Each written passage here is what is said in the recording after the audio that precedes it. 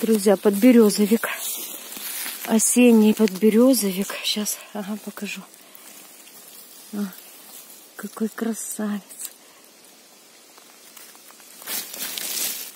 Красавец он. Ну, уже, уже кто-то начал его кушать.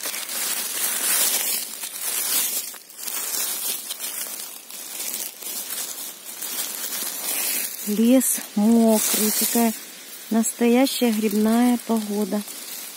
Хорошо, что нас мальчик не пустил. Мы машиной собирались приехать. Собирались приехать машиной туда, где, где мы обычно собираем. Нас мальчик военный не, не пропустил, мальчик-солдат. Говорит, учения идут. Но мы прошли сейчас вот этой территорией. Раньше мы проезжали. И мы нашли вот это подберезовик. Смотрите, какой красавец.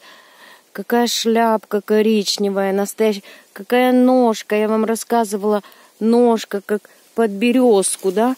Поэтому он и называется подберезовик. Вот эти грибы, которые я вам, которые я нашла, я говорила, это решетка, решетка более сухая. Друзья, это, это называется польский гриб, поэтому синеет у него ножка. Если придавить, да, здесь решеточка, здесь решеточка, видите? А если придавить, если придавить вот на шляпке, оно тоже синеет. Его еще называют синюк, или же это польский гриб.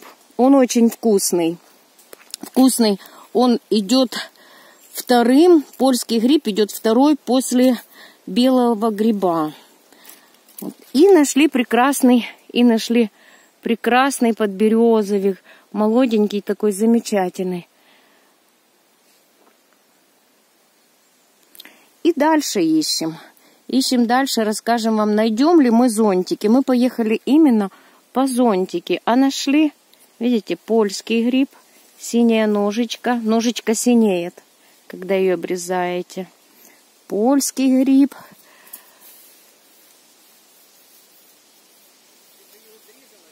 Белый нашли. Что мы еще? Ну, сыроежку мы взяли. Ну, вообще-то хочется, конечно, найти то, о чем мы прочитали.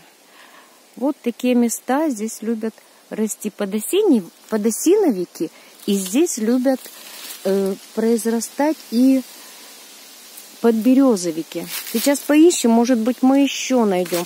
Именно вот на такое. Такая.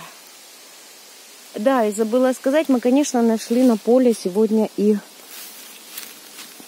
шампиньоны. Поэтому грибы будут сегодня вкусные. Жареные со сметанкой. Сделаем рецепт покажу и расскажу. Друзья, подписывайтесь на мой канал. До новых встреч в эфире.